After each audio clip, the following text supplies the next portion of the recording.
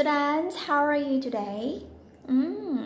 สวัสดีนักเรียนทุกคนนะคะอ่าสำหรับวันนี้เนี่ยครูเบิร์นจะขึ้น unit 2กันแล้วนะคะนักเรียนก็คือหน่วยการเรียนรู้ที่ 2 ถ้านักเรียนตื่นเต้นไหมคะ Are you excited อ่าถ้านักเรียนอยากรู้แล้วว่าเราจะเรียนเรื่องอะไรกัน เพราะฉะนั้น here we go เริ่มกันเลยค่ะอ่า เอาละค่ะสำหรับนักเรียนชั้นป .3 นะคะนักเรียนเดี๋ยวเราจะมาขึ้น unit 2กันเลย unit 2เป็นเรื่องอะไรอ่าไปดูกัน unit 2เป็นเรื่อง all year round นี่เลยนะนักเรียน all year round all year round ก็คือเป็นเรื่องที่เกี่ยวกับเหตุการณ์ที่มันเกิดขึ้นทั้งปี น่าจะเป็นเกี่ยวกับเรื่องอะไรถ้านักเรียนดูจากรูปภาพแล้วอะนั่นแหละค่ะนักเรียนให้นักเรียน look at the pictures what can you see ก็คือให้นักเรียนดูรูปภาพ แล้วก็ดูว่านักเรียนเห็นอะไรเนี่ยในรูปภาพบ้าง รูปภาพแรก what can you see เห็นอะไรคะ beach ไหมชายหาด sea ทะเล volleyball ใช่ไหม they are playing volleyball คือเขากำลังเล่น volleyball กันอยู่ net ตะข่ายใช่ไหมเอ่ยอ่ามีเด็กๆเต็มเลย รูปภาพด้านล่างถัดมา ว้าว it's raining มันฝนมันกำลังตก แล้วก็เขาก็กางร่มด้วย umbrella right and ภาพนี้ภาพนี้ไม่เห็นอะไรคะ what can you see snowman right and it's snowy and some sweater coat ใช่ไหมคะเขาสวมเสื้อผ้าหนาๆกันอะเดี๋ยวดูเฉลยซิเราเห็นอะไรกันบ้างอะเราน่าจะตอบอะไรได้บ้าง อืมอ่าเขาบอกว่า umbrella อันแรกเลยนะคะ umbrellas ก็คือร่มนั่นเอง boys boys ก็คือเด็กผู้ชายมีหลายภาพเลยนะคะ volleyball ก็คือนี่เลย volleyball net ก็คือตาข่ายนั่นเอง net net แล้วก็อื่นๆที่เราพูดกันมาสักครู่นี้นะคะอะต่อไปเดี๋ยวให้นักเรียนทำอะไรเนี่ย read look and find ก็คือให้เราอ่าน 3คำนี้ค่ะ rainy hot แล้วก็ snowy แล้วก็ให้เราดูว่ามันอยู่ตรงไหนของในรูปภาพอันนักเรียน repeat after me again rainy good again rainy good job hot hot mm, very good snowy snowy อ่านักเรียนน่าจะดูแล้วก็น่าจะคาดเดาคำศัพท์ได้ใช่ไหมคะ a rainy ก็คือทำไมลูกฝนตก hot อากาศเป็นยังไงคะ หนาวไหม no ร้อนนั่นเอง snowy ก็คือทำไมคะ หิมะตกนั่นเองอ่านักเรียน นักเรียคิดว่า rainy เนี่ย คือภาพไหนเอ่ยลองโยงเส้นดู rainy คือภาพไหน one two or three ก็คือภาพ นี้นั่นเอง ภาพที่สองโอเค how about is hot hot hot เราไปมี snowman ไหมอากาศร้อนๆ ไม่น่ามีก็น่าจะเป็นภาพแรกนะคะไปทะเลละเหมือนบ้านเราเนอะพอร้อนๆก็ชอบไปทะเลกัน snowy snowy ก็คือหิมะตก บ้านเรามีหิมะไหมลูก มีไหมคะ ไม่มีนะคะ เพราะว่าด้วยภูมิประเทศบ้านเราเนี่ยมันตั้งอยู่ตรงบริเวณเขตศูนย์สูตรก็คือทำให้พระอาทิตย์เนี่ยส่องมาที่ประเทศเราแล้วมันก็ทำให้อากาศบ้านเราเนี่ยไม่มีหิมะ เพราะมันร้อนนะคะโอเค next อะทีนี้ให้นักเรียน listen point and repeat นะคะ listen point and repeat มี 5 รูปด้วยกันใน word box เหล่านี้นะคะโอเค are you ready เดี๋ยวเราชี้พร้อมกันเลยเนาะจะได้ ทันทัน here we go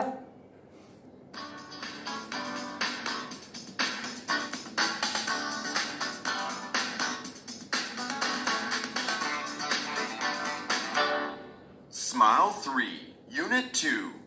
All Year Round. Students Book, Unit 2, Lesson 1. Exercise 1. Listen, point, and repeat. Cloudy, cloudy warm, warm stormy, stormy rainy, rainy snowy, snowy อ่า one more time อีกครั้งหนึ่งแม่เดี๋ยวครูเบิร์นอ่านให้ฟังแล้วเดี๋ยวหนู repeat after me okay cloudy อืม warm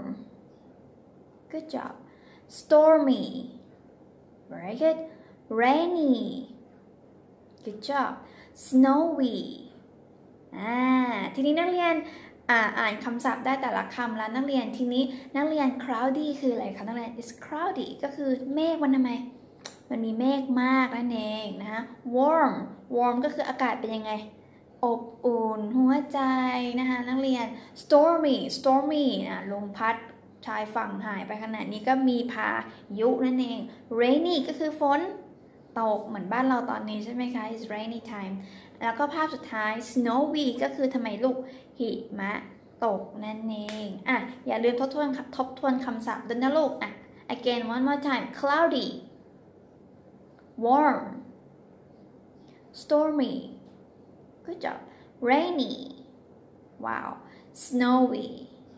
ah very good okay next one อะเดี๋ยวสไลด์นี้ให้นักเรียนลอง match ดูให้เรา read and match ให้เราอ่านอ่ามีด้วยกันทั้งหมด 5 ข้อ read and match ก็คือ match คือให้จับคู่ นักเรียนภาพ 1 2 3 4 5 มี 5 ภาพ How's about the weather อากาศเนี่ยมันเป็นอย่างไรคะ แล้วก็ให้เราเลือกว่าภาพหนึ่งเนี่ยมัน A หรือ B หรือ C หรือ D หรือ E นั่นเอง นักเรียนคิดว่าภาพหนึ่งเนี่ยน่าจะเป็นอะไร It's cloudy It's stormy It's rainy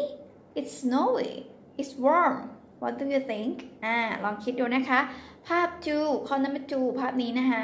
What do you think about It's cloudy It's stormy It's rainy It's snowy It's warm อืมลองคิดดูนะคะว่า match กับข้อไหน ข้อที่3อะ match กับข้อไหนดีภาพนี้เนี่ยอ่าข้อ A is cloudy ข้อ B is stormy ข้อ C is rainy ข้อ D is snowy ข้อ E is warm อืมข้อไหนดีคะ ภาพที่4 match กับข้อไหนดีลูก ข้อ A is cloudy ข้อ B is stormy ข้อ C is rainy ข้อ D is snowy ข้อ E is warm อืม ภาพไหนดีคะ เอ้ย ข้อไหนดีคะ and the last one ข้อที่ 5 A B C D or E it's cloudy it's stormy it's rainy it's snowy it's warm อะคิดว่านักเรียนน่าจะแมทช์กันได้เพราะคำศัพท์เมื่อสักครู่นี้เราจำกันได้หมดแล้วใช่ไหมอะลองดูว่ามันแมทช์กันยังไงฟรึบอ่านักเรียน ภาพที่หนึ่งภาพภาพที่หนึ่งแมทช์กับข้อ D นั่นเอง ภาพที่หนึ่งแมทช์กับข้อ D ก็คือ it's snowy นักเรียน repeat after me it's snowy แปลว่าอะไรลูกหิมะ ตกนั่นเอง it's snowy โอเค ภาพที่หนึ่งภาพที่สองราคาเฉลยคือ it's warm ก็คือข้อไหนลูก A B C หรือ E ข้อ E นั่นเอง ข้อที่สองนะคะข้อที่สองดูจากรูปภาพ it's warm it's warm repeat after me it's warm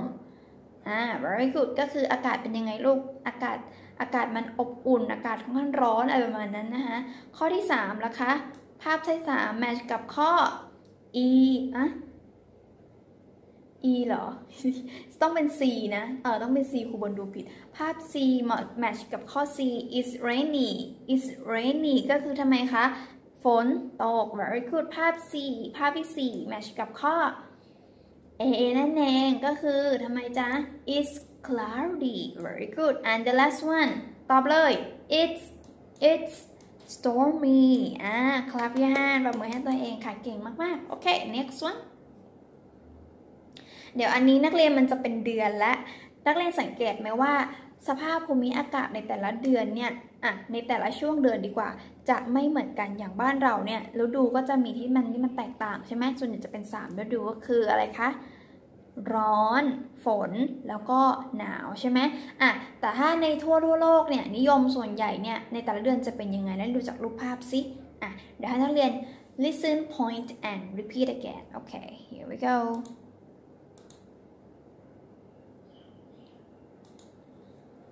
Students Book Unit 2 Lesson 1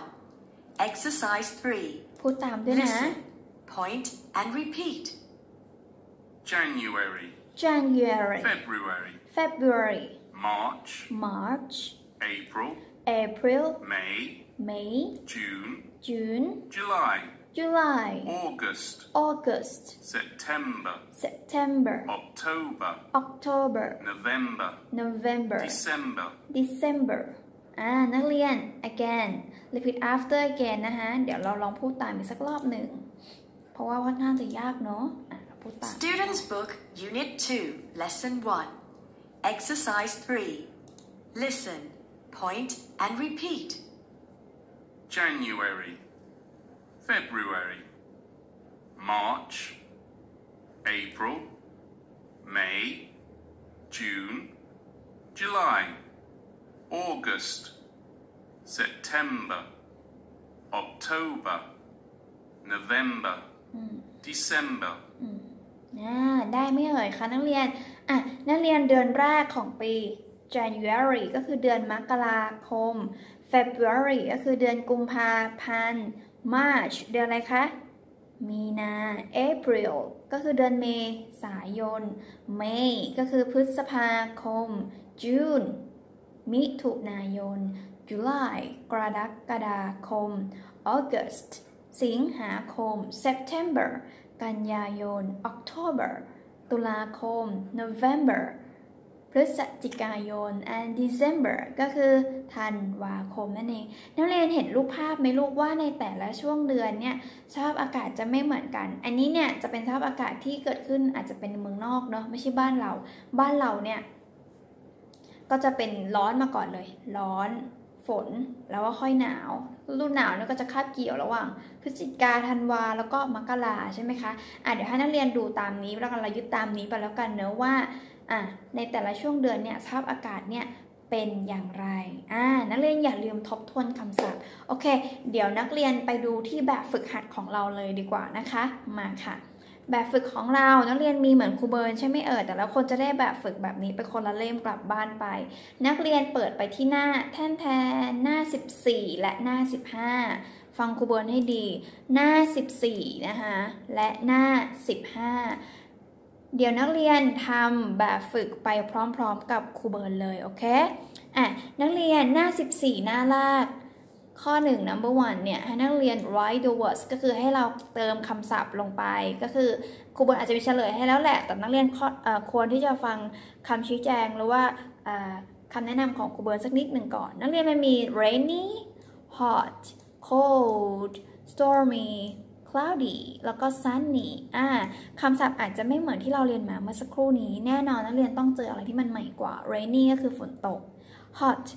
อากาศเป็นไงลูกร้อน cold ก็คือหนาวนั่นเอง stormy มีพายุ cloudy ก็คือมีเมฆมาก sunny ก็คือทำไมลูกแดดจ้าเลยแดดออกใช่ไหมฮะ อะ เดี๋ยวให้นักเรียนใส่คำที่ทำไมลูกหายไป อย่างอันนี้เนี่ยเขามีตัว s มาให้ นักเรียนคิดว่าสภาพอากาศข้อนี้เป็นอย่างไรคะ แน่นอนค่ะ sunny อันนี้ล่ะลูก rain นี่หนูเขียนเติมเหมือนครูเบิร์นได้เลยคราวนี้อะลูก cloudy นั่นเอง อันนี้ล่ะคะ stormy next one cold ใช่ไหมหนาวเย็น and hot hot ก็คืออากาศเป็นยังไงลูก อากาศมันร้อนนั่นเองที่ใช้อ่าอยู่ที่ทะเลทรายเลย มาดูอันที่ 2 look and circle ก็คือให้เราดูสภาพอากาศ 5 ข้อนี้แล้วก็ให้เรา circle ข้อที่ทำไมลูกถูกต้อง อย่างข้อ 1 what is the weather like สภาพอากาศเป็นยังไงคะ stormy หรือว่า hot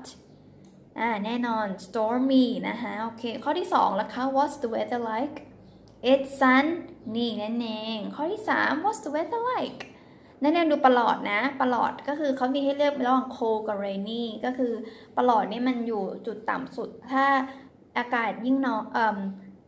เขาเรียกว่าอะไรนะ องศามันยิ่งน้อยก็คือมันจะยิ่งหนาว แต่ถ้าแต่ถ้าองศาเซลเซียสอะไรพวกนี้มันเยอะมันก็จะยิ่งร้อนนั่นเอง เพราะฉะนั้นข้อที่ 3 ตอบ cold ข้อที่ 4 what's the weather like very good hot ข้อที่ 5 what's the weather like คะ rainy โอเค very good หน้า 15 กันบ้าง หน้า 15 ให้นักเรียน look and write เหมือนเดิม ให้นักเรียนดูสภาพอากาศ และทีเนี้ยว่ามันเป็นอย่างไร นักเรียนข้อที่ 1 what's the weather like ลูก storm me very good เขียนลงไปเลยนะคะ เขียนตามครูเบิร์นได้เลย ข้อที่ 2 is rain นี่นั่นเอง ฝนตก ข้อที่ 3 warm ก็คืออากาศมันอบอุ่น ข้อที่ 4 snowy ก็คือ หิมะตก ข้อที่ 5 cloudy มีเมฆมาก อ่า เขียนตามได้เลยค่ะ ข้อที่ 2 เอ้ยอยู่อ่าอันหน้านี้ อันที่ 2 หน้า 15 เขาบอกให้ number the months from 1 to 12 then look and write the weather words อ่า อ่าให้นักเรียนดู